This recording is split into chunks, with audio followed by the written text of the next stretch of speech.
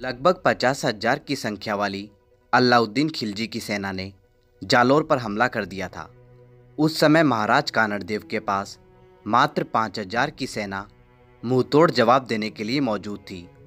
ऐसे में अपनों का धोखा और अंत समय तक अपनी बहादुरी से दुश्मनों के छक्के छुड़ा देने वाले जालोर के महाराज की कहानी बहुत दिलचस्प है।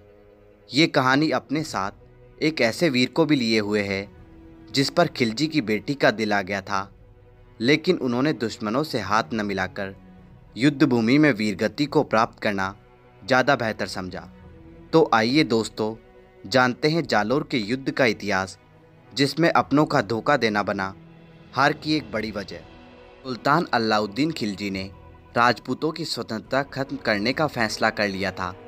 इस स्वतंत्रता को खत्म करने के लिए उसने राजपूताना राज्यों पर हमला शुरू कर दिया। इसी क्रम में सुल्तान ने हमीर देव चौहान को हरा दिया।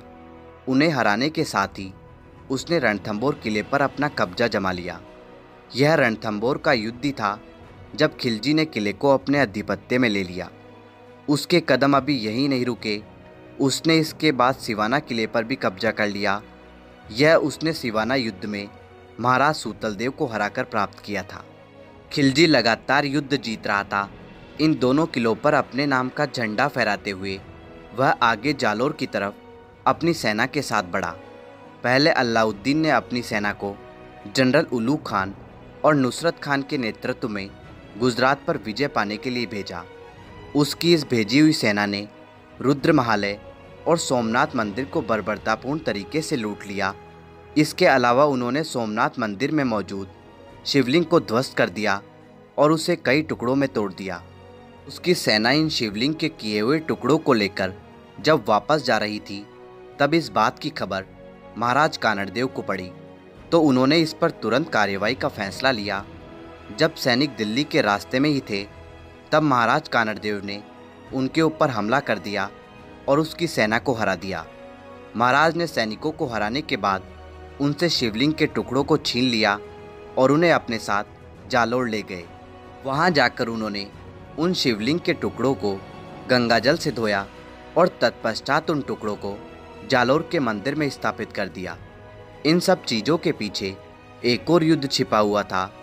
अगर कानड़देव प्रबंधन द्वारा लिखित पद्मनाभन के अनुसार कानड़देव के पुत्र वीरमदेव युद्ध के समय सुल्तान के कोर्ट में मौजूद थे। इसके बाद सुल्तान ने अपने कोर्ट में महाराज को बुलाया। इस निमंत्रण के बाद कानड़देव ने अपनी जगह अपने बेटे वीरमदेव को कोर्ट में भेजा। सुल्तान ने उन्हें मारने के लिए षड्यंत्र रचा। अपने षड्यंत्र के अनुसार, उन्होंने पंजा प्रतियोगिता के दौरान उन्हें मारने का प्लान बनाया। सुल्तान ने पंजा लड़ाने की एक प्रतियोगिता रखी। उसे लगा कि वह प्रतियोगिता में उन्हें हरा देगा, लेकिन वीरमदेव ने भी कोई कच्ची गोटियाँ नहीं खेली थी। उन्होंने पंजा प्रतियोगिता में सामने वाले प्रतिद्वंदी को हरा दिया। वीर वीरमदेव को देखकर खिलजी की बेटी राजकुमारी फिरोजा को उनसे प्यार हो गया। वह उनकी बहादुरी की कायल हो गई। दोस्तों, आपको बता दें, राजकुमारी फिरोजा सुल्तान की बेटी थी, लेकिन सुल्तान की बेगम से नहीं। वह हरम की एक वैश्या और उसकी बेटी थी। अपनी बेटी की इच्छा जानने के बाद सुल्तान ने वीरमदेव को अपना दामाद बनाने के बारे में सोचा। अपनी बेटी के विवाह का प्रस्ताव लेकर वह वीरमदेव के पास पहुँचा। लेकिन वीरमदेव ने इस प्रस्ताव को सुनते ही ठुकरा दिया। इस तरह वह पहले से और भी ज़्यादा झल्ला गया। वह पहले से जालोर पर कब्जा जमाने के लिए युद्ध की फिराक में था। अब तो वीरमदेव के प्रस्ताव ठुकराने के बाद उसे एक और बहाना मिल गया। सन 1310 में अलाउद्दीन ने अपनी सेना जालोर में आक्रमण के लिए भेज दी। दिल्ली से भेजी गई सेना ने शुरुआत के सात दिनों में अनेकों बार किले की सुरक्षा को तोड़ने का प्रयास किया। लगातार हो रहे इन हमलों से, कानड़देव, उनका भाई मलादेव और बेटा वीरमदेव कहीं ना कहीं झुंझला उठे थे। लेकिन उन्होंने अभी भी हिम्मत नहीं आ रही थी।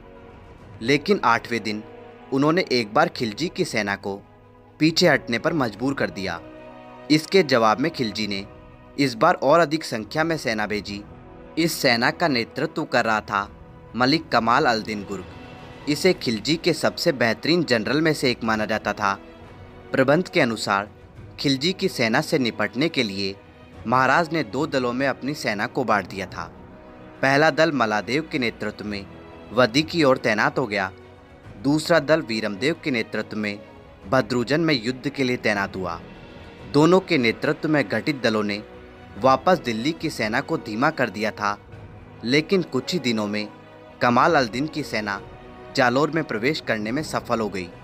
ऐसे में अंततः महाराज को दोनों दलों को वापस जालोर बुलाना पड़ा।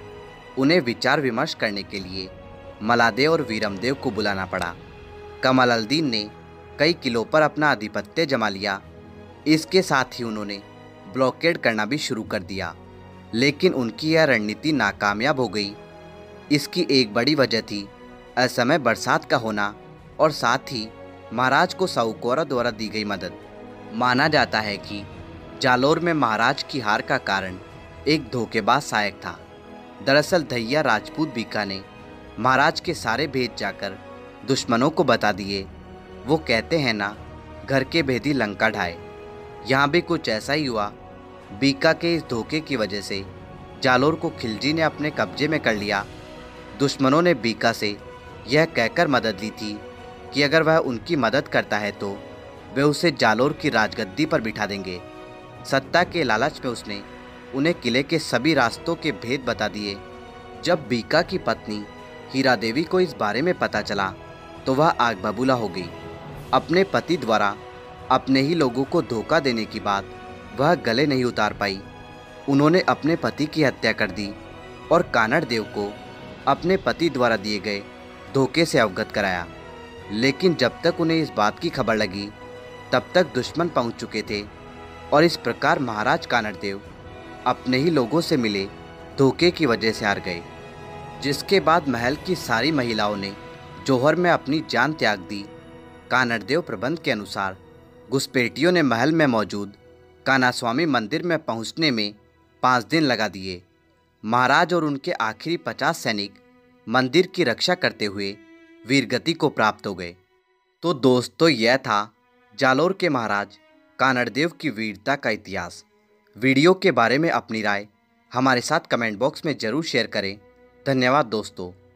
दोस्तों, इसी तरह के इंटरेस्टिंग और इन्फॉर्मेटिव वीडियो देखने के लिए, हमारे चैनल द हिस्टोरिक भारत को अभी सब्सक्राइब करें और बेल आइकन का बटन दबा दें, जिससे आपको हमारे लेटेस्ट वीडियो सबसे पहले मिल सके।